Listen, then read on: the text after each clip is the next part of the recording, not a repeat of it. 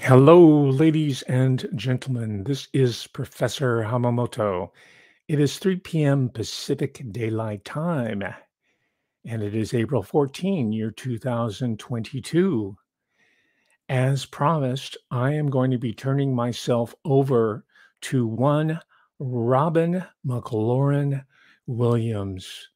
I've been living with him closely over the past several days reading his biographies, reviewing the notes, and today I will present to you the history from the grave of one Robin McLaurin Williams. So, Robin Williams, please take it away. Nanu, nanu. well, it all started uh, to go downhill when I moved back over to uh, Marin County. You might have heard about it. It sits across the uh, San Francisco Bay. And as you'll hear very soon, I cut my teeth on stand up comedy in uh, the city of uh, brotherly love. People say that's Philadelphia, and it, in truth, it's um, San Francisco. Gay brotherly love, of course. So that's Marin County. That's uh, from a uh, a site that uh, me and the missus used to go up and um, uh, ponder. I got into bicycling uh, in my later years. I before I died, I had eight, 80 uh, top of the line, some of them custom made uh, trail bikes and racing bicycles. So you could say that I was a uh, bicyclist or bisexual cyclist for uh, the latter part of my life. And here is where it ended for me. It's called Paradise Cay, C A Y. And for the nitpickers, sometimes it's pronounced key, but we locals down in Tiburon, this is um, a enclave. There's only about 200 homes like this, and that one with the white uh, red roof with the swimming pool. It's not really a swimming pool; it's a reflection pool. That's mine, and it overlooks the uh, beautiful San Francisco Bay. It's about 23, 23 feet above sea level, and if uh, the big tsunami ever hits, uh, it's going to be underwater, tons of water. And um, I have a lot of interesting neighbors. Um, and uh, the neighborhood where, where you come up, especially in my case, uh, has been determinate in my life, as I'll mention to you. I'll review my my uh, Attic years, as I like to call it, Attica, Attica. No, not Al Pacino, not not the movie Attica, but Attica as in the case of VC Andrews. Yes, indeed, ladies and gentlemen, Robin McLaurin Williams did have a very much of a Gothic childhood, very similar to VC Andrews. And I, Robin Williams, will encourage you to go back to Professor Hamamoto's playlist and look at his um, talks that are very much relevant and articulate nicely with uh, with my life and and how it went down, how it ended, and how I was resurrected from the dead in order to put forth an even greater, a more nefarious agenda. I was already slotted into the Hollywood scene in order to help pave the way for the friendly space brother alien invasion psyops that we're seeing here 2022 the Pentagon people who were working with Garry Marshall, who was the producer of Laverne and Shirley and Mork and Mindy and all those other great sitcoms of the um, through the 70s and through the 80s. And uh, my friend here, I like to view him as my medium, He's Professor Hamamoto. I've read his book. It's published in 1989. It's called Nervous Laughter. He's an expert on situation comedies. So this is one of the, another reason why I decided to use him as the medium to communicate to you here in 2022 so that we can avert disaster. So yes, to finish up that thought, uh, that thought about Mork and Mindy, I was transported into an already successful show called Happy Days. Do you remember those? Um, yeah, I I don't think I ever watched a, a single one of them, but uh, myself because I was in it, starting season two and I came. It was called uh, Mork from Orkin, something of to, of that uh, nature. I can't really remember because I remember towards the latter part of my career, I got Alzheimer's, and I guess that's um, God's way of uh, telling you that you don't need to watch your old reruns or revisit uh, the really crappy movies that didn't do well at the box office. Uh, just like uh, cocaine, as I used to say, is God's way of telling you that you're making far too much money. So that's Paradise Cay. I wound up with the missus. Her name is uh, Susan Schneider Williams. And I'll tell you the cute meet. That's movie talk, by the way, when boy meets girl, right? When Harry met Sally in the romantic comedies, there's always a setup. It's called a cute meet. But me and the missus, uh, Susan Williams, uh, Schneider Williams, we had a cute meet at the local. Remember when there were retail stores not that long ago? Well, we met, uh, guess where? At the Apple store. Talk about cute needs. Is that a setup or what?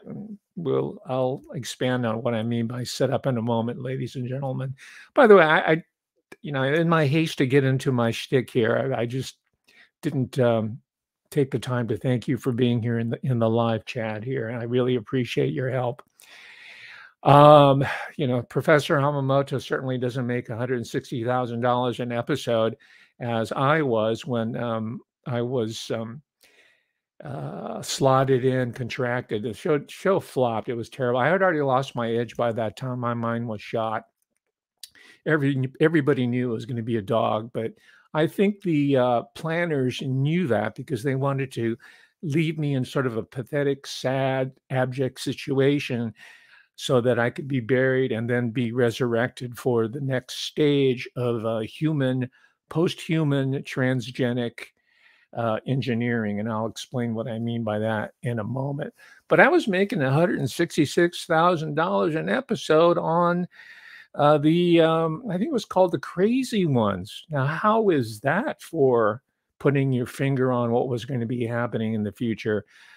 As uh, the great writer Michael A. Hoffman II called it, he calls it revelation of the method. And that was the last big time network situation comedy. That was going to be my big comeback before it was yanked away from me purposely, of course. It was called Failing Forward. So that's the home there. Now it's today in 2022. It's in the possession of uh, Mrs. Uh, Schneider Williams.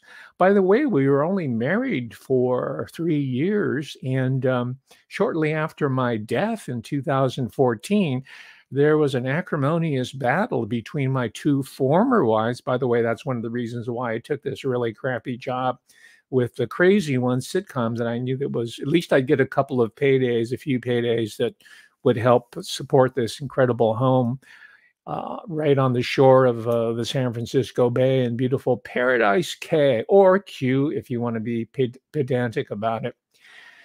Um, yeah, we were married for three years, and uh, we'll get into the settlement later and how uh, Ms. Schneider, my widow, Widow Williams, as she was once portrayed in the uh, newspapers, how she might, uh, in the end, wind up with much more money than any of his pre- my previous two wives. or I tend to stand outside of since I'm dead. I'm speaking from the great beyond. I tend to look at myself as an object as if it's not really my life and it really isn't because i'm in a different uh, dimension now and it's far beyond Ork so forgive me if if I, I seem to be you know, slipping out of character um, this ladies and gentlemen uh, circa 1977 is the famed golden gate bridge and i think this is heading north if those of you who have not been to the beautiful city of San Francisco.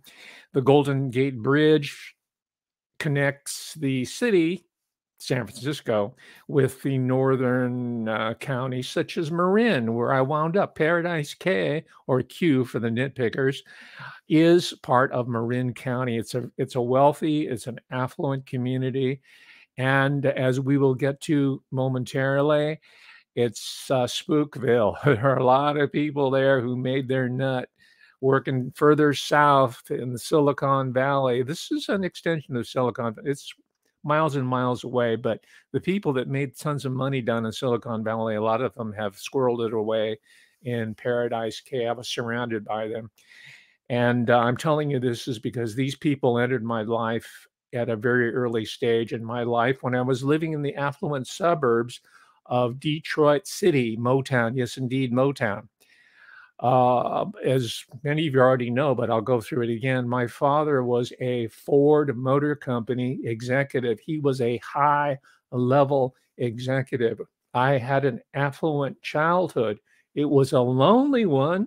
It was like flowers in the attic, except I didn't have a, even a sister to commit incest with, and I didn't have two stunted children, uh, siblings with me. It was just me, Robin McLaurin Williams, lost in the attic by myself doing these role plays. Now, every once in a while, there would be strange friends of my father coming up to the attic, and he would be wearing like a Baphomet's head, or sometimes my parents would take me to these late night revelries amongst the other Ford Motor Company executives, and they trot me out. And it's really kind of strange because they were all wearing Venetian masks and they were stark naked, right? So early on, I got that imprinting and I was used to being passed around and handled, and uh, well, you know the rest of the story. And uh, as we'll get into Mork and Mindy, that type of behavior continued even through the 70s. Poor Pam Dawber. I groped her relentlessly. Every chance I had, I would grab her buttocks or her breasts, and she would say, Robin, Robin, what are you doing? Uh, but as she says now, she forgives him. It was the 70s and he's, you know, he's dead. And she, I would even take my clothes off. I would take my, I would be stark ass naked except for the pelt that covered my entire body. As you know, if you look in the dictionary under hirsute, you will see my picture there, Robin McLaurin Williams. I mean, I was so hairy, even in the first movie that I thought I was going to break through to feature films directed by what Robert Altman? That was a really poor choice. Talk about casting choice. I mean, he did Nashville. He did all these really uh, kind of spacey movies, and he was hired to to cast uh, or to direct Popeye. But for the Popeye, I'm so hairy. They made me shave my forearms for the Popeye role. You know, had I lived long enough, I would have put in my will that they should just just take me to a taxidermist and use me as a throw rug at, at the old Paradise Cay home. I was that hairy.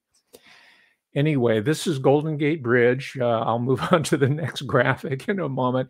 Excuse me, but you know my routine. Ever since the beginning, I was always involved in word salad, stream of consciousness, and people would always marvel at the incredible rate at which my synapses would fire right? We'd have these improv shows down even in high school. This is when I had aged out of being passed around because you see in uh, the pedophile circles, after you reach puberty, they get rid of you. They they send you away or they kill you. They bury you. And in our case, my dad was moved out of the uh, affluent suburbs of Detroit. He was moved out of town, and and uh, the family moved all the way to Tiburon, which is Marin County, which is where I wound up where was my final handlers, handler, Susan Schneider, came in, married me, and uh, oversaw my uh, mental faculties go into the dumpsters as everybody was uh, was uh, positioning self my, themselves to take my image, my my holdings, my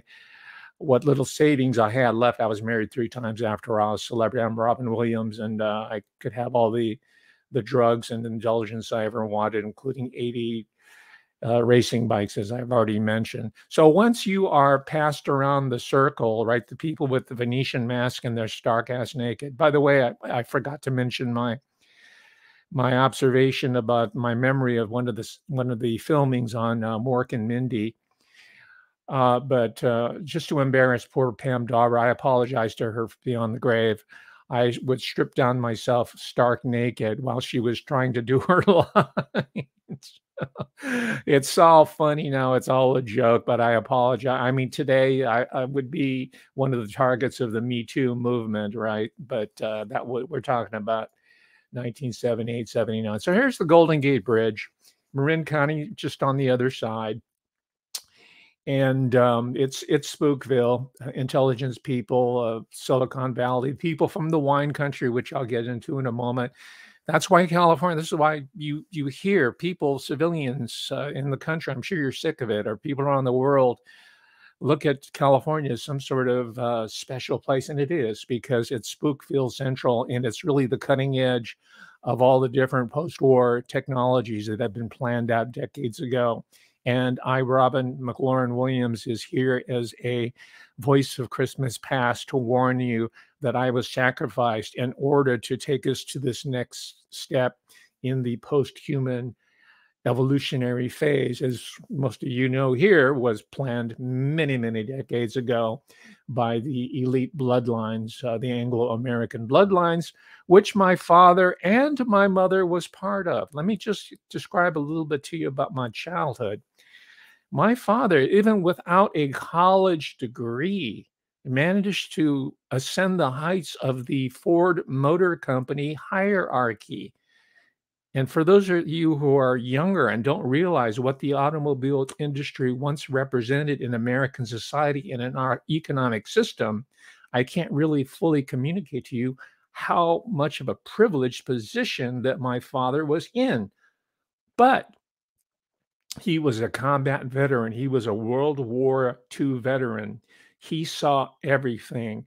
He saw bodies disconnected from their heads. He saw brutality, cannibalism, bloodletting on a massive scale. And that was just on the American side. And he was fighting the Japanese in the Pacific, just like my my comedic mentor, right? Jonathan Winters, right? He's the only other goy who's at the same level as me. Jonathan Winters. We're the only two, right?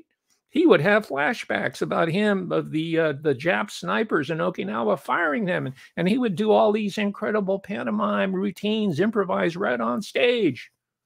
So that's where this comes from, ladies and gentlemen. It comes from deep personal trauma as it's called. Yes. And you too can make a ton of money in enacting that trauma for the public in order to acclimate them to further trauma. Indeed, they're being traumatized by just sitting there for 30 minutes at a time watching Mork and Mindy on television through the all seeing eye.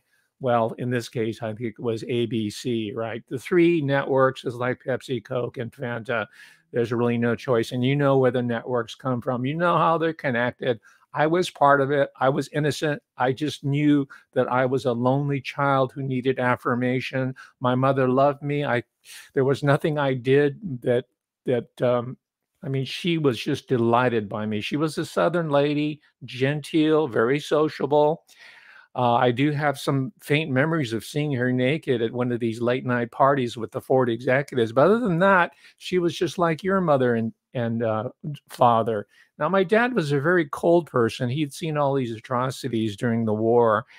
And uh, as we know, you check out one of Professor Ham- Hamamoto's earlier talks about uh, the uh, bombing survey, right? W.H. Auden, he did a whole book. He did a, an epic poem called The Age of Anxiety, which came about through the mass bombing of civilians in Germany, through Central Europe, Ukraine, Russia, Japan, Tokyo, Okinawa, all of it. World War II, Germany, of course. Yes, absolutely. And the homeland, uh, the British Isles. And W.H. Auden pronounced it the age of anxiety. We've been there for decades and decades, even before Robin McLaurin Williams was born. But this is what I was born into to create, to extend the wartime trauma into the so called baby boom generation. I was born and bred and groomed in order to carry out that agenda transgenerationally. Finally, when I died in 2014, I was able to gain some perspective on my own life. I was able to catch up on some reading. I'm a highly intelligent individual. I had a high IQ.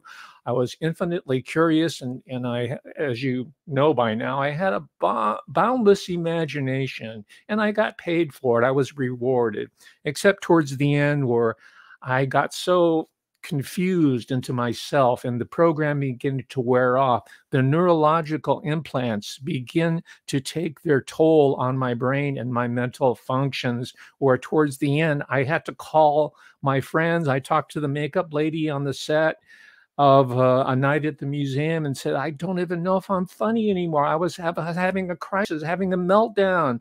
The Canadian director, that should be a tip off for you, Shawn Levy, the Canadian director who was doing the last of the three movies, A Night at the Museum, which are very creepy films if you want to see it. It's part animation and part live action. Does that tell you about where we're going as a film culture?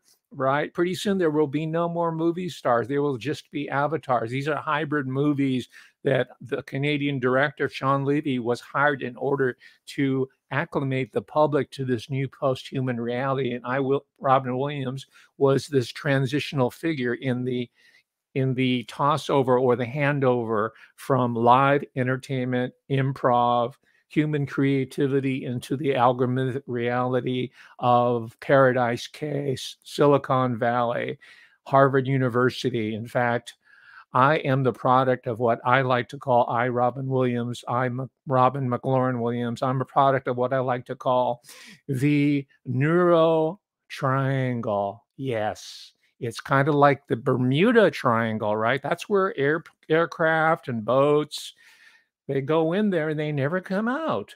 Well, I, my parents, my father, the Ford Motor Company executive, relocated my family. My, I was the only kid, of course, but we re- relocated to Tiburon. I went to Redwood High School there. I graduated high school there after going to elite boarding school, by the way. And you know about your elite boarding schools especially in Britain and in America there. You know all about the hazing and the sex based trauma rituals, the sacred anality that the little boys are initiated to. Now, I'm not going to say, I'm not going to claim, I'm not, at least I'm not going to admit that I was buggered when I was going to the elite boys' school before coming out to uh, Tiburon and Redwood. And I was wearing a, a shirt and tie. I carried a briefcase to prep school it was like night and day, ladies and gentlemen, when they took me out, my parents took me out of that repressive environment over to California and Tiburon. That's when I got my first Aloha shirt, my Hawaiian shirt. And I dropped the briefcase and I became who I really am. Right. I moved from from darkness into light, which was in truth more darkness, but I didn't realize it at the time. So to finish up that thought, you know about the Bermuda Triangle. I Robin McLaurin Williams calls this the neuro triangle. That is, once your brain goes into that constellation of the University of California, Berkeley, which is right across the bay from where I was living in Tiburon. In fact, I have some faint memories of visiting the the laboratories there just to check it out. Of course, I didn't have the grades to make it into the University of California. I had to go to Claremont Men's College, which historically has been related to the intelligence agencies, by the way, just like Pepperdine College, where Barack Hussein Obama was laundered through before he wound up at Columbia. There's a whole network of private, especially liberal arts colleges and public universities where people like me are shunted through in order to be these generational uh, bellwethers, as they're called. That is the goat that wears the bell that leads the whole generation down the primrose path to the slaughterhouse. So that was my function there. But the Neuro Triangle is the University of California close to me in Tiburon. Across the San Francisco Bay, there's a University of California, San Francisco. It's part of the UC system, but it's graduate only, primarily medical sciences. There are no undergraduates. UC San Francisco. And this is where my dear wife, Susan Schneider Williams, was taking me to get all these CAT scans and looking into my brain, looking deeply into the inner workings and the functions and the, and the, the, the physiology of my, not just my brain, but I think they were checking out my soul as well. So that's two prongs. That's two coordinates of the neuro triangle. The third one is down at Stanford University. That's what I call the neuro triangle. Once your brain goes in, that's the last you'll ever see of it. And of course, uh, Susan Schneider uh, Williams uh, took me down there to get checked out by the psychiatrists, the neuroscientists. They've got tons and tons of money come from guess where? right? I've been dead since 2014, but I've been watching what's been going on, especially since 2020. The name Anthony Fauci is not new to me. I know all about the National Institutes of Health. It's institutes, by the way, and that includes a very large division in so called mental health. And this particular array of institutions are at the cutting edge of the post human future. What we're seeing now, we're being jerked around by people. Well, not me. I don't watch much television anymore, but every once in a while I'll check CNN and I'll watch Don Bongino and I'll see Ben Shapiro. I'll see Stu, uh, the auctioneer Peters, or whoever else that have been put in place to suck the energy out of the true advances that that and awakenings that have happened amongst the American public because these people are all pseudo conservatives and pseudo populists, and they've been trying to capitalize on the the advances of independent media that we've seen people like uh, Dave Emory, who uh, is in Silicon Valley, but for some reason has been able to escape the the clen- the, the clutches of the um, of the neuro triangle. So that's the Golden Gate Bridge. Let me continue uh, down memory lane here before I bring it up to the present and tell you about the movie that I was featured in without even being in it. How's that for? I've been dead for I think uh, it was uh, six years, and the movie came out in 2020. I'll get into it in a moment. But first of all, oops. Well, wouldn't you know it? I'm sideways. I'm go- I'm going sideways all my life. This is me back in circa 1977. You know, the flower power generation is is over by that time. San Francisco's beginning to settle down the all the uh, Project Midnight Climax and Sidney Gottlieb and the CIA and uh, Project Chaos that had already been done and and uh, the intelligence agencies in cooperation with University of California, Stanford University, Harvard, Yale, all the Research One institutions had all the agenda and the physio- the physiology of, of mass mind control, uh, including mass media, of course, networks and film and, and radio uh, new media, so-called internet, had not come in, but that was was soon to follow. They had that all dialed in, and that's when I started to make my my fame and fortune in San Francisco. And all the time, by the way, ladies and gentlemen, I, I was already in my early 20s and I was still living at my in at home with my mommy and daddy.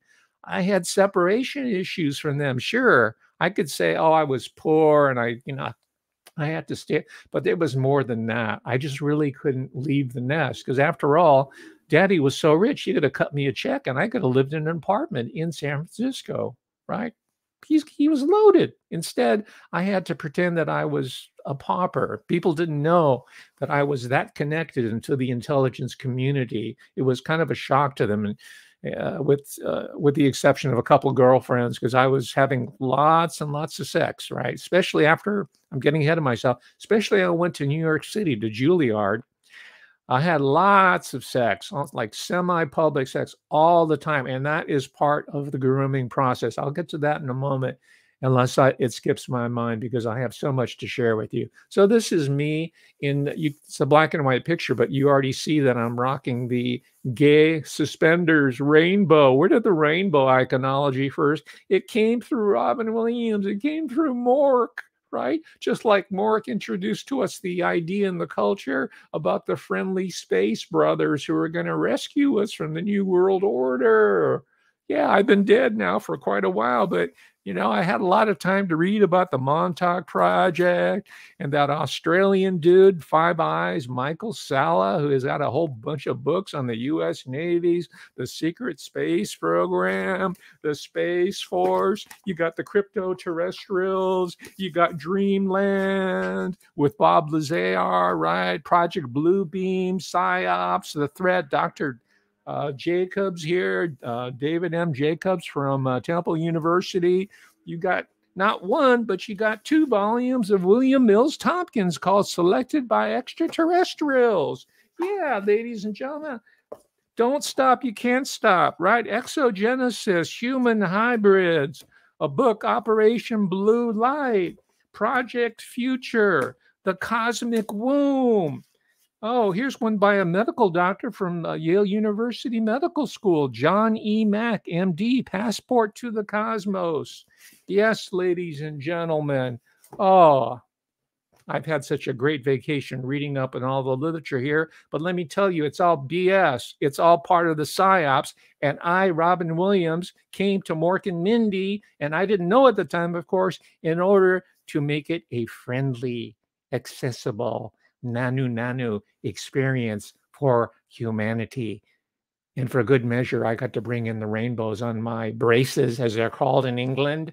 We prefer to call them suspenders, right? Because the agenda is the suspension of human life. Oh, here we go.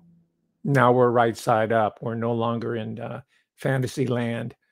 And it started to turn south here, right? The National Enquirer, Robin's tortured final minutos not Menudo, right? The boy band. Remember the boy bands? Wow. Whew, whew, my gosh, the boy band, the boy band scare. Man, that was worse. That was that was terrible. But there was a, Latino one. It was called Menudo. But I'm not talking about Menudo. I'm talking about Robin Williams's final minutos.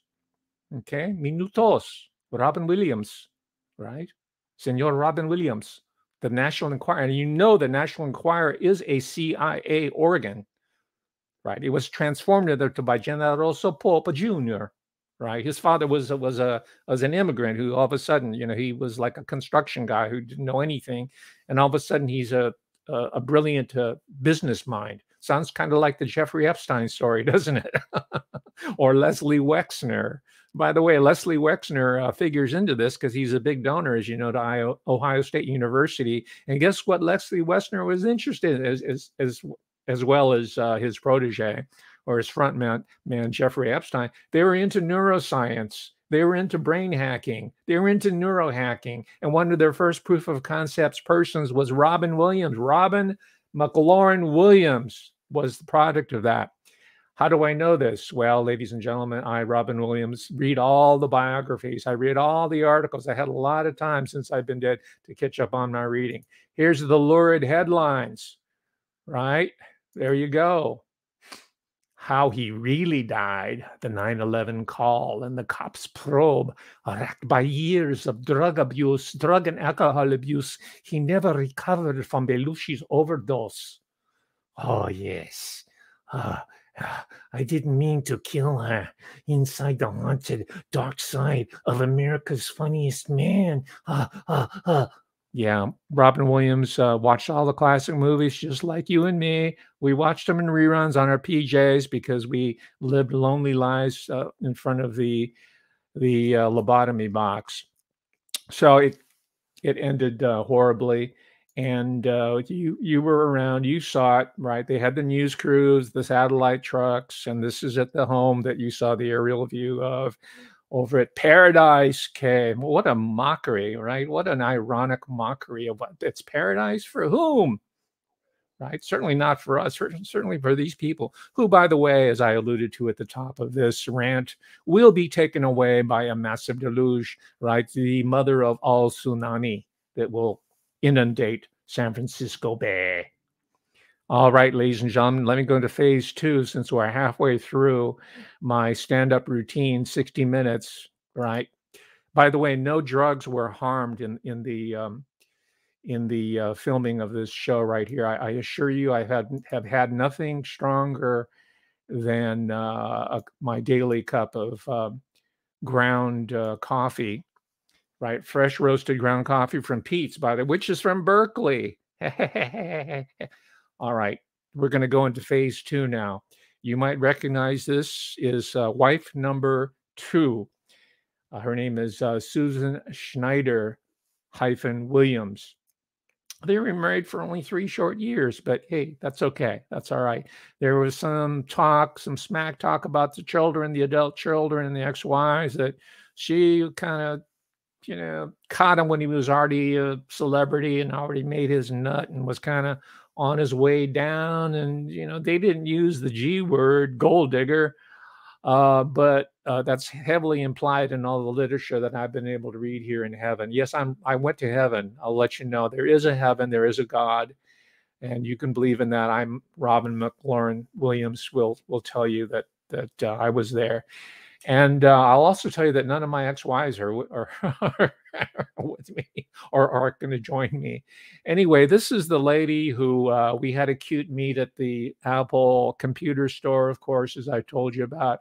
And whenever her name was uh, mentioned to me by interviewers, it could be Katie Couric, it could be somebody at a local affiliate, right? Because I had to do the interviews, right? Whenever her name was mentioned, my, I would go into a trance state. I would go into an, another dimension entirely. It almost seemed as if, as if her, her word, her name was a trigger mechanism that put me into this really good place, right? Where I wouldn't know that my brain was deteriorating, that the that the neurological implants were beginning to take over, just like your mRNA, right? Eventually the cells expand and the, the artificial engineered part takes away, it starts to intrude on the organic material. And pretty soon you have what's called Alzheimer's, which never, people didn't know what Alzheimer's, not even my parent generation, we, they didn't know what Alzheimer was. None of it. These are all new, newly engineered post-war ailments that uh, the medical slash pharmaceutical companies have a, a, solution to or they're looking for it right? Or supposedly they're looking for it. In truth they're trying to uh, and i'm telling you this i'm robin williams i've been through the process. All right i've come out the other end. Uh, they're pretending to find a solution to it but the truth is they want you to be dug further into the system and they're going to use my memory they're going to use my contribution to American society, world society, culture, film history. They're going to use my memory in order to help bring in through the back door the neuro hacking reality that is already in play. All that we're seeing right now is just a run up, it's a smokescreen to a deeper engineering process that's taking place as we speak here ladies and gentlemen. So let me move into the video section. This is uh, me and the missus at um, during um, happier times when I was still sentient and uh, had my most of my faculties together. Although every once in a while I would uh, start to space out. I was perhaps experiencing some of the early onset of the uh, dementia, as it's called sometimes. And again, here is the luxury home that uh, I alluded to earlier. This is the home that my artist wife, she was a painter. And by the way, we lived an independent life. My other wives were always very much interested in my career. They accompanied me on trips. Sometimes they'd even be in the audience and prompt me, right? They were shills, right? Which is done in comedy. And uh, they would uh, support me all the way. But uh, Susan uh, Schneider, she was a painter and was spent most of her time uh, away from Robin Williams. And this is, I'm telling you this because this is one of the points of uh, resentment amongst uh, my heirs, including my three grown children, who I'm happy to report all are doing well. They seem to have their head screwed on straight. I was, since I was a child of privilege myself. I, I, was born into incredible privilege and wealth. I wanted to make sure that my children did not grow up with a trust fund mentality. My oldest son, his name's Zach. He went to Columbia University and earned a, master's of business administration. And uh, later on, towards when my career was going into uh, eclipse, he moved out back out here to the Bay Area. He was moving to he moved to Silicon Valley, and we got to hang out at the home here and watch the old films like Stanley Kubrick's Doctor Strangelove, And all the time, of course, I'm developing new material. So that's Zach. He came back into my life and finally understood me as adult uh, to adult what his father was really about and why he couldn't really be at home while he was making a fortune, ironically, to have a happy home.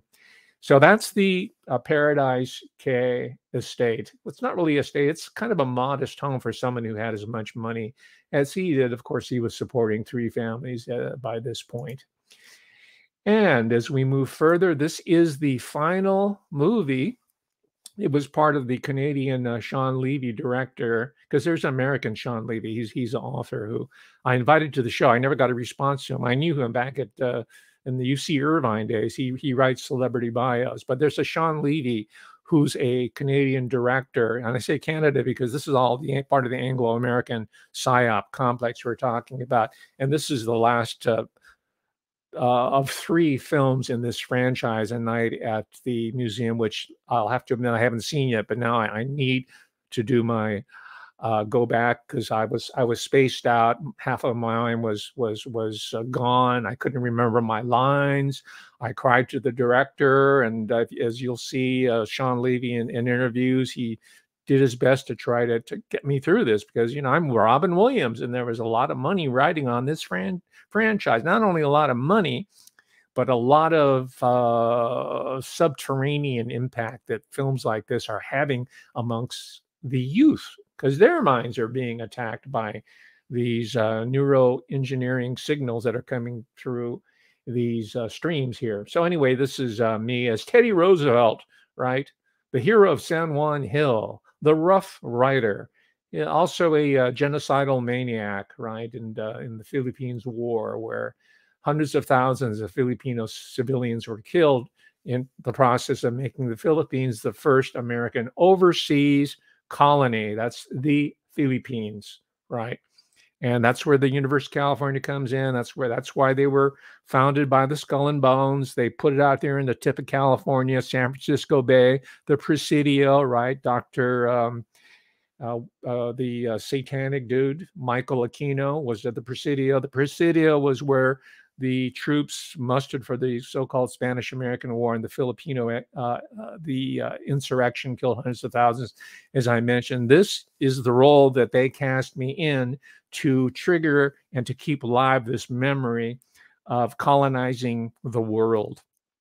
And now that the political, the globe, as we see in the back, has been fully integrated geographically, geopolitically, there's this other frontier that needs to be colonized, and that is the human brain and the psyche and the mind and the soul. So there's many layers to this film. The children are not going to get it. If you're into cultural forensics, you will understand. Still, I'm going to have to revisit this because I couldn't remember my lines, let alone what the movie's about. But I've regained myself. I've become 100% whole again once I passed over into heaven. And here is uh, a timeline of the beginning of the end, October 14th. Uh, as I recall, and again, remember, I'm suffering from what they call Alzheimer's, whatever that is, right? When we were growing up, because I was born in 1951, I we never heard about Alzheimer's. No, none of these diseases, quote unquote, existed, which should tell you that, man, maybe they are engineered, right? So uh, from as far as I can remember, this is uh, down at the University of California, San Francisco, where all that the neurological experimentation is taking place. UCSF, yeah. And they're attached, by the way, to a huge psychiatric hospital nearby in San Francisco. And they have all these indigents around there, these so called homeless people, and you got veterans. Oh, yeah. And don't let me forget, you know, you you had the groundwork laid by uh, Operation Chaos here. Let me bring myself back up here. Yeah, chaos. Charles Manson, the CIA, and the secret history of the 60s. Tom O'Neill. Right. I told you I hit 10 in 70s, mid 70s to to uh, take partake of the burgeoning stand-up comedy revival scene. Right. People like Mort Sahl, Lenny Bruce, had made earned their their stripes in the 19 by the way mort sahl was a good friend of mine all the way to the bitter end. He was a resident of tiburon himself. Of course as you know uh, lenny bruce uh, was persecuted right charged with obscenity died as a heroin junkie. Well anyway this is part of the psyops and this again uh, after you know post-mortem this also this helped me robin williams uh, figure out that uh, I was a victim of this PSYOP myself. And just as another example of the academic complicity of this, here you have the Unabomber Manifesto written by Theodore Kaczynski, and most people know from the book by Alston Chase, uh, Harvard and the Unabomber, that Kaczynski at age 16 was brought into a juvenile uh, grooming program by a an army, a military psychologist by the name of uh, Dr. Henry Murray. So I'm an extension of this program, ladies and gentlemen, and uh, it came to you first uh, on happy days, right? A travesty of what the 50s were really like. Because really, there, you know, who who even needs the Mandela effect? All we need to do is watch situation comedies to completely rewrite and reinscribe our reality as we lived it, right? So I'm here with uh, back with you here today from beyond the grave. You know, I'm the the ghost uh, of Christmas past, right? I'm the gift that keeps on giving and giving, just like the clap, right? I'm here to tell you that don't believe the hype. Peter Marshall, Penny Marshall, all the Marshalls, no one ever deputized them to lord over us. They're not sheriffs, they're not marshals, they're not elective officials. They're schlubs, the schmucks, right? You know, they they may think uh, Chinese people are funny just because on Shabbos they'd go and have some Chinese food. Let's have some Chinese. Well, you know what? The Chinese got the last laugh on me because they were the ones who found out that I had all these incredible lesions in my brain, right? And that's why you know Dr. Robert A. Malone is a fraud for saying that he invented mRNA. All you got to do is go to one of these laboratories, UCSF, you see nothing but Chinaman or Chakams as it's sometimes pronounced. So let's uh, move on to the next uh, presentation. Here we go, here, ladies and gentlemen. Can you read that? The Adam Sandler Neuroscience Center. And in the corner here, it says UCSF, right? UC San Francisco, as in University of California, not as UC, because they keep hidden. They're crypto, baby, crypto. Uh, I'm just bugging out. It's probably not Adam Sandler, who's movies I could never really understand why. It's probably for people who are severely neurologically damaged, but I find them, uh, as Robin Williams, I find them to be non funny. Uh, anyway, it's called the Sandler uh, Neurosciences Center, and this is where they started looking into my brain and, and following up on this decades long neurological experimentation that they were that they uh, that hey, that I was brought into as a human test subject uh, shortly after I came to Tiburon and went to Redwood High School. Now, it wasn't the the Sandler Neuroscience Center specifically that worked on him, but it was also the University of California, San Francisco that treated, quote unquote, treated a predecessor of mine. He was a half generation ahead of me, or perhaps he was, perhaps he was closer to my father's age and he later became a noted science fiction or speculative fiction writer. And he was fortunate towards the end of his life to see some of his films, uh, some of his books turn into cinema adaptations. And he was quite happy with at least one of them. And uh, you knew that as Blade Runner. And I am talking about none other than Philip K. Dick. Philip K. Dick lived not too far away from me out in Tiburon, further south in Berkeley right? He grew up there. And as a child, his mama, just like my parents, would take him across the bay to the University of California, San Francisco to get his head checked out, right? Who knows? And then maybe at night they all had an after party at some loft somewhere in San Francisco where all the all the cameras were running, right? Just like at the comedy shows, just like at the the uh, Hotel Marmont, where I w- was I frequented there when I was down in LA. I had to move out of LA. Richard Pryor, you know, the comedian who lit his face on fire, freebasing, Richard Pryor told me, and my wife at the time, says, You got to get out of here. You're killing yourself. You're, you're taking too much Coke. And uh, so I did. I, I went up to Napa, the next day with the missus, we flew up on a helicopter and we saw a beautiful ranch up in Napa, which is like going from the fat into the fire because that's all Illuminati wine country land. Which you got the Rothschilds, you got the Mondavi, you got the Shrem family, you got the Disneys up in the Napa family, you got Agenda 21 going on. But we bought a 600 acre spread right there, right on the spot, thanks to the warning of Richard Pryor. It didn't end very well for himself. He also lost his mind. He blew his mind out in a car he didn't notice that the light had changed.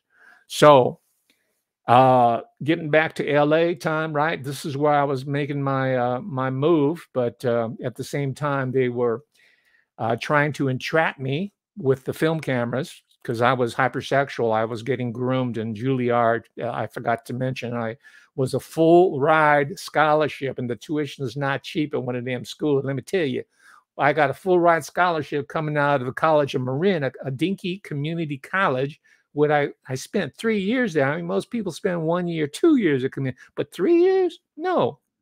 I guess I had to, you know, stretch it out so I can go get some treatment over at the Sandler Neurosciences Lab while I was being groomed to become Robin Williams. But out of the College of Marin, and I was still living in mommy's and daddy's house, right? They probably had the, the people, the naked people from Silicon Valley. Uh, by the way, I think uh, I suspect that one of my dad's uh, big bosses over at Ford was Robert McNamara. Robert Strange McNamara, right? Robert S. His middle name was Strange McNamara. He was the Secretary of Defense. You didn't know that? Yeah, Robert McNamara was my daddy's boss at Ford because he come out of there. Man, uh, Robert McNamara and a bunch of these whiz kids, Harvard whiz kids, were sent to Harvard University to learn operations research, right? Operations science, management science, human relations, because the psychologists, behavioral science had figured out we got to create a certain type of managerial class in order to run game on the rest of the people. So they got Robert Strange McNamara trained over at, at Harvard, got himself an MBA, and then they sent him over to Detroit City right? And then they got Berry Gordy saying the sound of young America with Motown, right, to distract all the peoples. But they got Ford Motor Company engineering the human consciousness into all of the humanity. You see, that was my daddy, that was my pappy, Robert Strange McNamara. And then Robert McNamara got picked out of the Ford Motor Company, and then he was made the Secretary of Defense of the United States of America. And after he left that, he went over to become the head of the World Bank. Yeah, the World Bank. Yeah, I got bank. So Robert Strange McNamara, when we was kids, right? I was born in 1951. After all, I'm a child of television. I grew up as a rugrat watching Uncle Ra, uh, Walter Cronkite on the CBS Illuminati Network, right? Right out of OSS land. He would tell us all about the Vietnam War that was run by Robert Strange McNamara, and they would put out their every night during dinner, six o'clock promptly. The body count. Yeah, this is how many gooks we killed today. Oh, yeah, Robert Strange McNamara. He was producing automobiles on a massive level, and he was producing carnage and dead gooks on an industrial scale. Yeah, W.H. Auden, you got nothing on Robert Strange McNamara. This is not the age of anxiety. This is the age of mass atrocity. And now they're going in for the final kill. They're going in for our brains. They're going in for our neurological makeup. They're going in for our soul. Yeah, Grandpa Funk.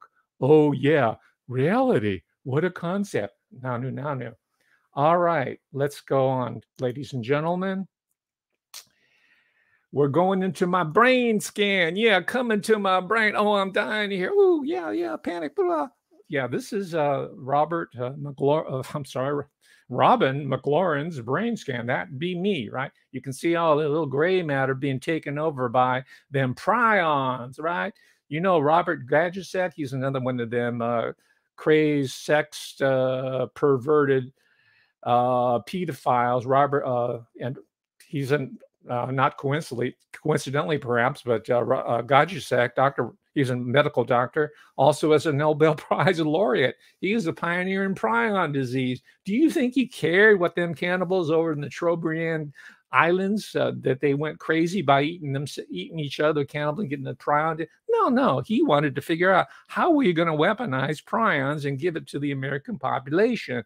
And I'm one of the first examples of how they figured how they were going to be able to do the kuru, which is eating the, the disease that uh, the Trobriand Islander Melanesian people, uh, these are uh, South South uh, Pacific Islanders, right? They're walking around half naked, right, on the little brown skinned boys that Dr. Carleton Gajdusek liked to bring home. Every time you bring them in like 20 at a time, all them brown skinned Trobriand Islanders. And he was a proud and admitted pedophile. He was even tried, he was arrested, and he was convicted, and he split, right? So this is all part of the uh, military industrial pedophile complex, and of course the neuro triangle is all part of it. And there you go. You see, they call it Lewy body disease, L E W Y, Lewy body disease. Check it out because, ladies and gentlemen, I didn't know this because I was bedazzled by all the men and women in the white smocks, right? Most of them were Asian, by the way. All the ones who are, are the PR fronts, like Robert Malone, who looks like he's uh, the product of the of the uh, unholy alliance between some of the people that, that made it in the on the set of uh, Planet of the Apes. That's Robert Malone. Those are the ones they put out there, but it's it's all the Asian people who are doing the actual work. So anyway, here is my brain. Here's my brain on crack. See, here's here's the Asian people that are actually doing the work. Uh, here's one of them. He's they're looking at uh, Lewy body disease. This is where these uh, bodies, uh, Lewy bodies, supposedly take over the rest of your healthy uh, function and and apparently according to, yeah because there now there's there's an association right? There's a lobby there's a group there's a neuroscientific stock market initiative right to pump up the stocks in this area. It's probably going to be the steaming sacklers of you know what family the farm big farmer that's going to aggressively go into this is going to fund it and they're going to use my memory of robin robin mclaurin williams my fond memories of me is Mork, right? The guy with the gay suspenders. Mork and Mindy, the Dead Poets Society, Death to Smoochy, One Hour Photo, all of it. Good Morning Vietnam. They're going to use my goodwill in order to bring you, us, and I'm warning you, my fellow human beings from the planet Ork, they're they're going to bring this to you soon unless you watch closely here and spread this presentation virally, if I may use that term.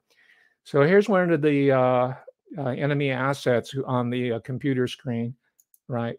We like our Chinese people, especially on Shabbos, right? There's, you heard about the Shabbos goy. Well, there's the Shabbos uh, Chinaman who will cook for you on on Saturday, and and then Billy Crystal, you can put it on your act, right? Right. It, when you're in the Catskills, you know, which I've always uh, Professor Hamamoto has told me he always wanted to be a uh, Jewish comedian, but uh, I'm, I'm, Robin Williams. You know, I'm a goy, and so I said, you know what, you're not going to make it because your name's uh, Daryl Hamamoto. And so I said, okay, uh, Robin, I, I, got I got the idea. Uh, hereafter, I'm going to be known as Shecky Hamamoto. So I still haven't gotten the uh, calls from the Tonight Show yet, but I'm waiting. Right, I'm the world's oldest golden boy. Now, ladies and gentlemen, where am I getting all this insight about my death and how it's being exploited? Well, I peered into my looking glass from heaven above and I saw this documentary that was that came out in my name in 2020. You can get it for free on the retailer that ate the world, right? There's another example of grooming, Jeff One-Eyed Bezos, Robin's Wish, and it's Robin as in Robin Williams. And there's my that's where I grew up. That's beautiful Marin County, beautiful country. And of course, only wealthy people can afford to live there, right? The people who are hacking the human race, humanity. And here's my home area, directed by Tyler Norwood, whoever he is. And there's beautiful San Francisco, the city of the gay brotherly love in the background. And then in the foreground, you see the aforementioned Golden Gate Bridge. So this is my uh, turf, so to speak. This is where I got the program. Now, here is where gets kind of suspicious, right? We know about executive producer. We know about Albert Broccoli, right, who did most of the James Bond films, and you know about, uh, well, you know the names, right? Brought to you by so and so. But here, you don't really see a lot of producers, executive producers, who have advanced degrees, especially medical doctors by the name of Shoshana Ungerleider, right? Is she related to Klaus Schwab or is she Mossad, um, Israeli, or I don't know, but her name is Shoshana Ungerleider, and she's a medical doctor, and she's one of the executive producers of a film about this dread disease called Lewy body disease. But by the way, I forgot to mention me, Robin Williams, forgot to mention that Dr. Robert Lewy was one of the Jewish Austrian doctors who had to flee Hitler. I think actually it was an exfiltration move, not they weren't they didn't care. You know, they wanted to bring it over to America so that uh, the OSS can use the technology for brain hacking. They knew that the big battle was going to be the battleground of the mind, not of the the Polish breadbasket or, or Ukraine. It was going to be in the brain, in the mind, the soul of humanity. So they got Shoshana Ungerleider as producer of this film to, to alert us to this problem. But let me finish my thought about Dr. Lewy, L E W Y. It turns out he was one of the Austrian Jewish medical doctors that were recruited as part of this paperclip organization. Paperclip wasn't just all a bunch of Nazi Aryans. There were tons of Jews that were brought into it as well. He was one of them, and they posted him out the University of Pennsylvania. Check that out. That is like Nazi Paperclip Central. And that's where he came up with this. Oh, there's some foreign bodies in the mind. It's called Let Me Name Enough Myself. My name is Lewy. Anyway, we're in 2022. Look it up. Dr. Lewy, University of Pennsylvania. So we got the producer, Shoshana Ungerleider, and we have another two of them. Her name is Dr. Miley. I don't know if I'm pronouncing it correctly. Miley Sharvat. Right. Now, I'm not trying to be xenophobic here. No, you know, we don't have to just keep it in America. That's cool. America's open. It's open. The border is open. I'm not against foreign people, especially if they got something to contribute to American society. So, but I checked her name out, ladies and gentlemen. Me, Robin Williams from the dead. I checked her name out. I looked at it, and guess where she got her PhD? She says, Doctor. She wants you to think she's a medical doctor, not that they're any better. In fact, many times they're worse, right? But she wants you to think she's an MD. She's not. She's a PhD. So guess where she got her PhD from? Yeah, she got her PhD not from UC, not from Stanford. She got it from Palo Alto University right? Palo, that's where Stanford is in Palo Alto. So they use Palo Alto University so that most people, oh, well, she must be related to Stanford. They don't have anything to do with each other. And you re- might remember Palo, Palo Alto University as where uh, Christine Blasey Ford teaches. She's a PhD in psychology. Blasey Ford, she's the one, not that I'm a big fan of Brett Kavanaugh, but she's the one of accusing Brett Kavanaugh when he was going through the nomination process of sexual harassment. So that is uh, Christine Blasey Ford. And as it came out, the place there is a recruiting ground for PhD types, right, from the CIA. And not coincidentally, one of the guys in my department, his name's Dr. Stanley Sue, who was the head of so called Asian American mental health, which is a total scam because they got one for the colored people here, the Latinos, they got them for all the different food groups and for Asians. But anyway, after he snuck away from UC Davis and holding me down and ratting me out, he went over, guess where? Palo Alto University. Just check him out. His face is right there go ahead and sue me, mother, um, because uh, it's it's uh, it's war. Okay, it's war. You you started. I'm to finish it. And okay, ladies and gentlemen, wrapping up. I'm getting to the top of the hour. This is uh, the monument to Robin Williams, right? Remember the gay suspenders? Well, he's got two tunnels of love going in opposite directions going from uh, San Francisco to uh, Marin County. It's called the Robin Williams Tunnel. Yeah, that's a tunnel, ladies and gentlemen, that I don't want you to go down. I've been down that dark tunnel. I uh, didn't emerge until today. Thank you, Professor Hamamoto, for lending me the use of your body and your mind and your platform because I'm here as a harbinger of hope to my people, Dr. Ernest Angley, please uh, join with me in prayer so that we can restore all the freedom and the beauty and autonomy of America, the free, America, the beautiful. We love you, all the people of the world, yellow, black, brown, red, all of you, gay, homosexual, bisexual, we are all in love with you. We are all bodies and brothers and sisters in Christ the Lord, because, baby, I found it. All right, ladies and gentlemen, thank you very much. I owe everything to Richard Pryor to getting myself out of there. And uh, don't don't be thrown off by them them so-called entertainers bitch slapping on themselves on TV because you know what? They're gonna be put back on the plantation right quick, just like I was. All right. Peace out.